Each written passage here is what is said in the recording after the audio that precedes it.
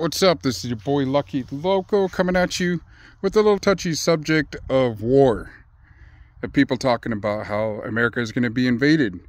You know, it's a good possibility, but I'm pretty sure everybody, doesn't matter if you're left, right, if you're gay, straight, uh, anything. I think we're all going to band together and stick together and be ready for it. I mean, good luck with all these rednecks, these mountainists, these real, these people that live off the grid out in these mountains They've been stocking supplies, guns, ammunition, booby traps.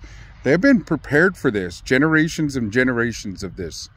You know, and it doesn't matter what color, what creed, what walk of life you are. Good luck trying to invade America.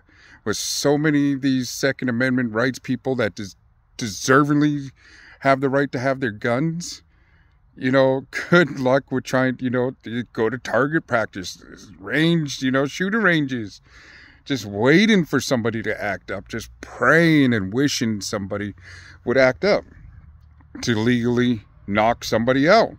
And, you know, and that's awesome. You know, I stand with everybody that's, you know, whether you agree with it or not. Like I said, good luck with trying to invade America. You got Canada, you got Mexico, you got all these other places that will band together and kick some ass. That's just how it is, and that's how it's going to be. So, not too worried about the invasion. I mean, they already seen what happened to us, the Native Americans. They're not going to get caught with their pants down like us. They're more advanced than a bow and arrow, you know, than a stick. You know, uh, they're not. You've seen what happened with us when we stabbed with open arms yeah, we had a sub. We had to talk about this with, uh, with a few friends the other day. So that's my input. That's my take. Let me know what you think about America. Is it ready for war? Oh, I mean, America's always been ready. So I'm talking about the citizens. If you come in and you try to try act up, that song will come into play. Try that in a small town. Oh yeah, them dudes are ready.